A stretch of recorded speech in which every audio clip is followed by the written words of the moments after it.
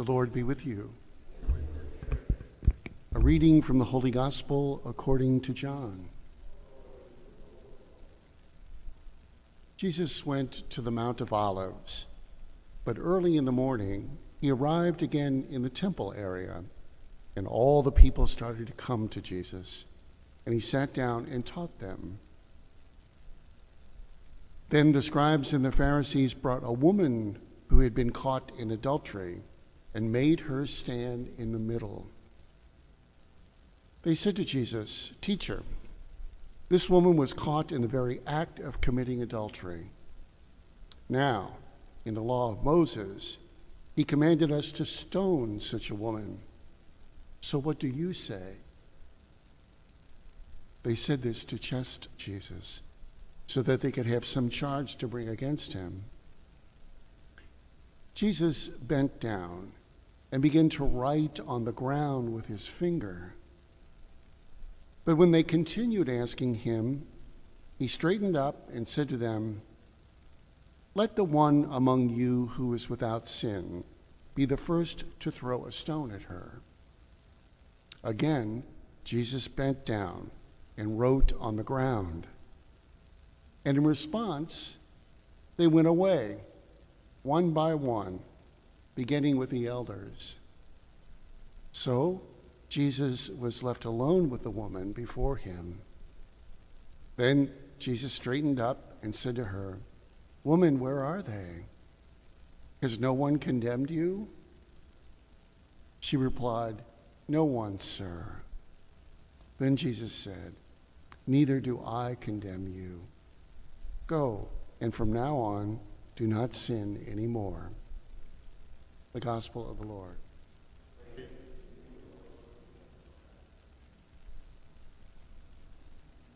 So we have two readings this morning that are rather similar.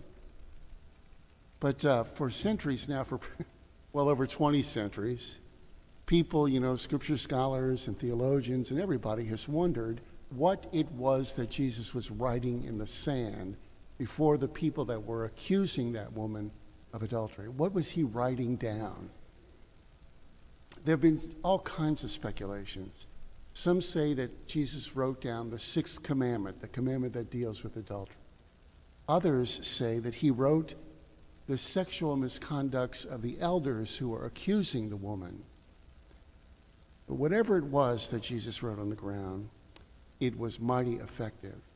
Because remember, the accusers of that woman, they all went away.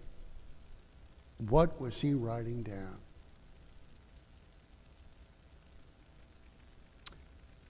Our, transi- transgressions can be packed with emotions, especially the, the difficulties that we have in relationship with one another. That's what these Gospels are all about.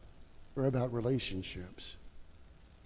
Sometimes the things that people accuse us of can really upset us, um, especially those who want to hurt us, just like the woman in the first reading and the woman in the second reading.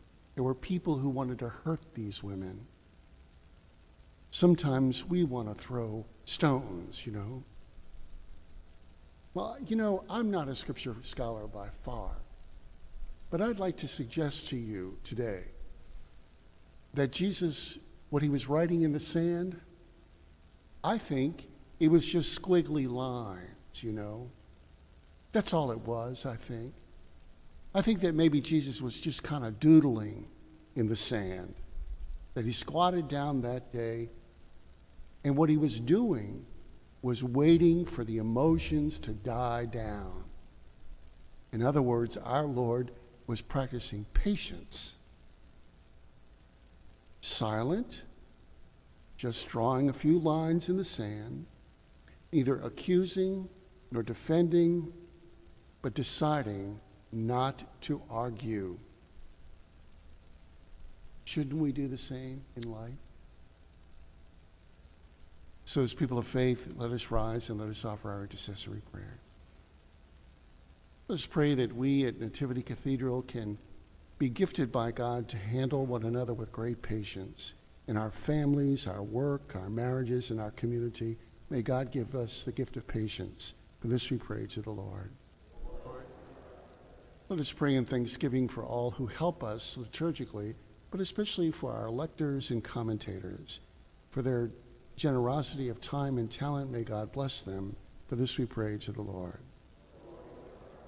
And indeed, let us pray for those who were caught up in the heat of great emotion and the heat of anger and argument. May they receive the calming effects of the Lord Jesus. For this we pray to the Lord. And for what else shall we pray this morning? Lord, hear our prayer.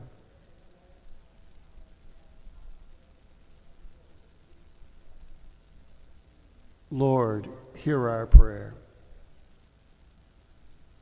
And let us pray for the intention of our Mass. Our Mass is being celebrated this morning for the repose of the soul of Kenneth Kennedy. May he rest in peace. For this we pray to the Lord. O gracious Father, as a Lenten people who long to be in good relationship with one another, we ask you to hear us. For we pray all of this through Christ our Lord. Amen.